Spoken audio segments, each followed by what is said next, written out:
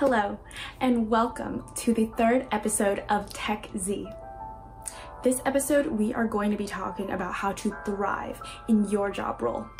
My name is Kaylien. I am currently a product manager at Oracle, and I'm a Northeastern University alumni and a former brother of the fraternity Alpha Kappa Psi. I'm from Boston, but I'm here with you today in San Francisco, living a bit of the nomad life. So, let me walk you through five easy tips today to help get you started. Tip number one, carve out your brand. This is what you are known for in your greater org or pillar, what people know about you, even if they don't work with you too often. You may not be an expert on anything quite yet, but you do bring a distinct set of skills to the table. So look for projects or tasks that are related to your interests or skills. And over time, people will think of you in relation to your brand, your cohesive professional identity. And over time, you'll become the go-to person for a lot of related activity to your demonstrated interests.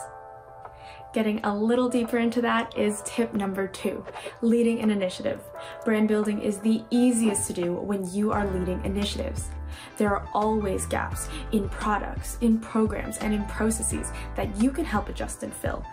Don't be intimidated by how new you are because sometimes those are the fresh eyes needed on the situation. Keep a running list of ideas, bold the ones that interest you the most, and find the right way and time to bring it up to your manager, or organize something with your peers. Good management will let you explore, as long as you stay on top of everything else. Tip number three, continue to network, both internally and externally from your company.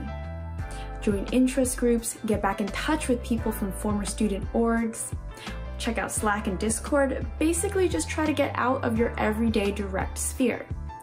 Often, some of the biggest shifts in your mindset come from people you do not regularly associate with. Along with a new perspective will come some new opportunities. Tip number four, lifelong learning.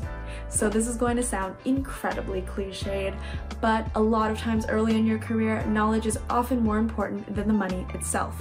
Later on, those decisions to pursue valuable experience will do more for your paycheck anyway. So know that your company or your team probably gives you more access to education than you might realize. Check out if they have a tuition reimbursement program, partnerships for training resources, or sponsorships for conferences and workshops. And finally, the last tip that is one of the most rewarding, it is mentorship.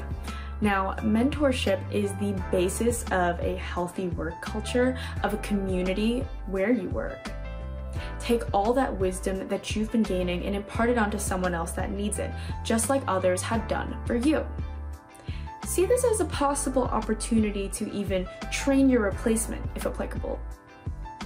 Teach them the things that you know, and they might get the chance to step up a bit in responsibility, and you can free up your plate while teaching someone else.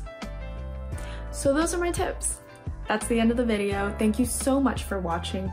You can subscribe or follow to all my socials down here. I'm Kaylien. It was so nice to meet you. Have a good one.